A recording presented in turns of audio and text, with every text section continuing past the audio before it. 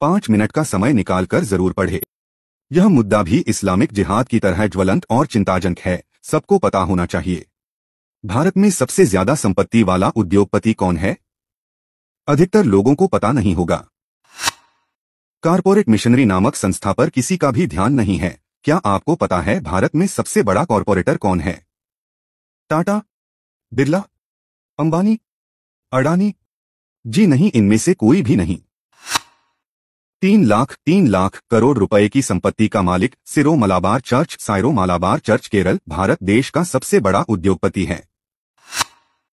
इसका ग्यारह हज़ार से ज़्यादा संस्थानों पर नियंत्रण है और इसकी बहुत सारी सहायक और ऑर्गेनाइजेशन है।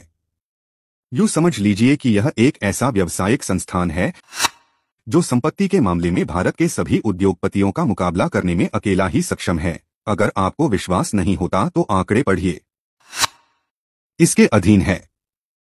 एक नौ हज़ार प्रीस्ट, दो सैतीस हज़ार नन, तीन पचास लाख से ज़्यादा चर्च सदस्य, चार चौंतीस डायोसेस बिशप, ईसाई मज़हब के वरिष्ठ धर्मगुरु, पाँच तीन हज़ार सात सौ तिरसठ चर्च, छह इकहत्तर पादरी शिक्षा संस्थान, सात चार हज़ार आठ सौ साठ शिक्षा संस्थान, आठ दो हज़ार छह सौ चौदह हॉस्पिटल और क्लिनिक, नौ सतहत्तर ईसाई शिक्षण संस्थान।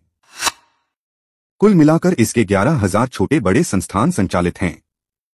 इनके ऊपर सबसे शक्तिशाली संस्था है C M A Christian medical association Christian medical association C M A के अंतर्गत ही देश भर में फैले हुए 1514 वह बड़े संस्थान आते हैं जिनके तमाम स्कूल, कॉलेज, विश्वविद्यालय, हॉस्पिटल और अनाथालय हैं।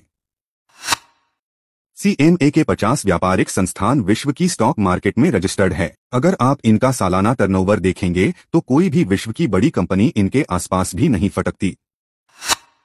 पूरे भारत देश में इस चर्च की पहुँच पचास हज़ार गाँवों तक हो चुकी है, और विदेशों में भी इसके बहुत सारे सहयोगी संस्थान हैं। इस चर्च की सारी कार्यकारिणी के लोग मलेशिया के हैं, और पूरी मैनेजमेंट टीम भी मलेशिया की ही है। सायरो मालाबार चर्च दुनिया के कैथोलिक ईसायत का सबसे शक्तिशाली विंग है और इसकी यह शक्ति इसकी संपत्ति की वजह से है। यह इनकम टैक्स नहीं देता क्योंकि यह अल्पसंख्यक संस्थान है। सरकार इसकी संपत्ति का ब्यौरा भी नहीं देख सकती, इसलिए इसका आज तक कभी भी ऑडिट भी नहीं हुआ है। इसी वजह से इसकी वास्तविक चलचल संपत्ति का आज तक देश के किसी भी विद्वान, बुद्धिमान, होशियार, जागरूक, ईमानदार और कर्तव्यनिष्ठ कहलवाने वाले नेताओं को भी पता नहीं था। लेकिन अब यह देश के गृहमंत्री मोटा भाई की नज़रों में आ चुका है। अल्पसंख्यकों के नाम से धर्मांतरण का यह मकड़जाल भारत में खुलेआम चल रहा है। यहाँ पर आश्चर्य है कि हमारे देश का संविधान और नेता भी इसके सामने असहाय हैं। इसके पास जो ज़मीन है, उसका कोई भी व्यवस्थित लेखा, जोखा हमारी सरकार के पास नहीं है। अगर इनके खिलाफ कोई कोर्ट में जाता है तो यह एक साथ हज़ारों लाखों लोग खड़े हो जाते हैं, जैसे कि रक्तबीज। इसकी सारी संपत्ति का 50 परसेंट हिस्सा तो इसके कॉन्वेंट शिक्षण संस्थानों के पास है। हिंदू संस्थाओं द्वारा चलाए जा रहे सभी स्कूलों पर टैक्स लगता है और आरटीई जैसे कानून लागू हैं। कॉन्वेंट स्कूलों पर ना कोई टैक्स लागू है, ना ही कोई कानून।